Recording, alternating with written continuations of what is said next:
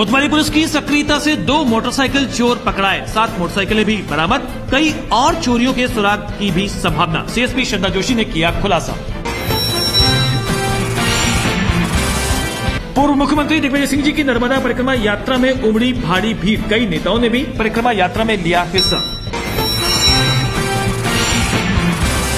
आठ जनवरी से 22 जनवरी तक होने वाली सेना भर्ती रैली के संदर्भ में कलेक्टर राजेश जैन ने ज़िले के अधिकारियों को किया निर्देशित। 30 दिसंबर तक भर्ती हेतु आवेदन होंगे स्वीकार। युवाओं से की अधिक से अधिक भाग लेने की appeal.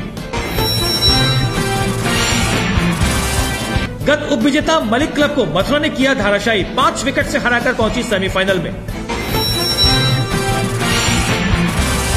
Akhil Bharatiya T twenty ball champions trophy के तारतम्य में कल सेमीफाइनल में ग्वालियर और मथुरा के बीच खेला जाएगा पहला सेमीफाइनल। समाजवादी पार्टी के प्रदेश अध्यक्ष की अगुवाई में समाजवादी पार्टी ने आज जिला मुख्यालय पर किया प्रदर्शन। भारतीय जनता पार्टी की नीतियों को कोसा।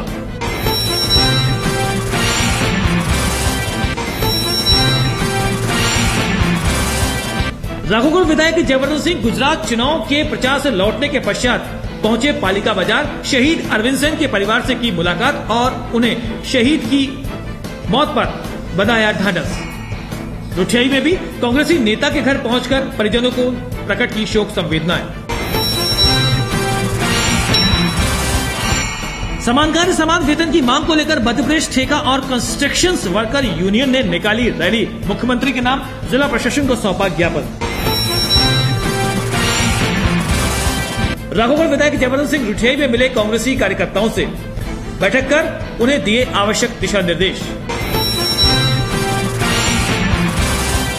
चैम्बर्स ऑफ़ कॉमर्स के तत्वावधान में युवाओं के कैरियर के लिए आयोजित हुआ भविष्य की उड़ान कार्यक्रम। मुख्य वक्ता अनुज गर्ग ने एसपी निमिष अग्रवाल के मुख्य आतिथ्य में दिया छात्र छात्राओं को मार्गदर्शन। अशासकीय स्कूलों की वर्ष 2016-17 की फ़ीस प्रतिपूर्ति के लिए शिक्षा विभाग द्वारा आयोजित हुई प्रशिक्षण कार्यशाला। अधिकारियों ने प्रतिपूर्ति के प्रावधानों से स्कूल संचालकों को कराया अवगत। पुरानी छावनी में मामूली सी बात पर हुए विवाद में दो पक्ष भिड़े। एक युवक हुआ चोटिल। पुलिस पहुँची मौके पर।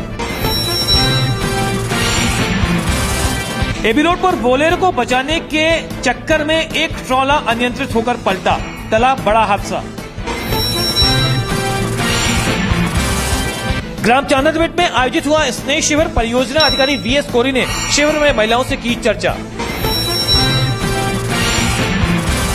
प्रदीप औदिच्य सहकार भारत के बने प्रदेश मंत्री बारेलाल ठाकर को सौंपा गया जिला अध्यक्ष का उत्तरदायित्व। नगर पालिका सीमो पी एस बुंदेला ने सुबह शहर के कुछ हिस्सों का सफ़ाई व्यवस्था का लिया जायजा। अखिल भारतीय नौजवान सभा ने अपने जिला कार्यालय का किया शुभारंभ। बेरोजगारों के लिए भगत सिंह रोज़गार गारंटी कानून बनाए जाने की की मांग।